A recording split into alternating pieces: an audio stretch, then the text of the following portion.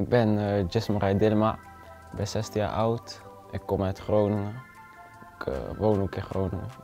Ja, we zijn bij mijn eerste contractondertekening.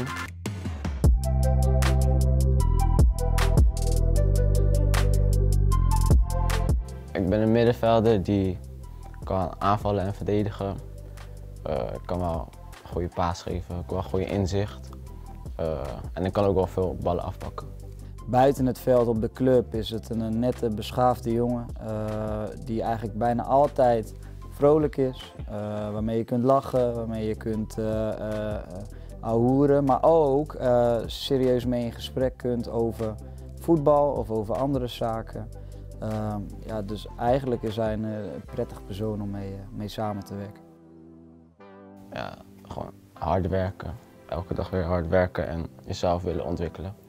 Nou, gewoon op trainingen alles geven en proberen weer beter te worden dan vorige dag. Nou, hij is gewoon volwassener geworden. Hè. De eerste keer dat ik hem zag was het echt nog een kind. En dat is ook logisch, als je 14 jaar bent, dan moet je ook nog kind zijn. Maar uh, ja, hij wordt volwassener in de dingen, met name rondom het voetbal. Dus uh, topsportgedrag. Hij is be beter bezig met zijn gedrag op school. Hij is beter bezig met zijn voeding. Hij is beter bezig met zijn eigen ontwikkeling. Ja, als hij dat doorzet, dus die nieuwsgierigheid, die, die lifestyle rondom het voetbal, nou, dan kan hij hele mooie stappen maken. Ja, ik wil mezelf gewoon doorontwikkelen, fysiek sterk worden en met ons team sowieso in de top 2 komen. En um, over anderhalf jaar wil ik hier in de Euroborg spelen.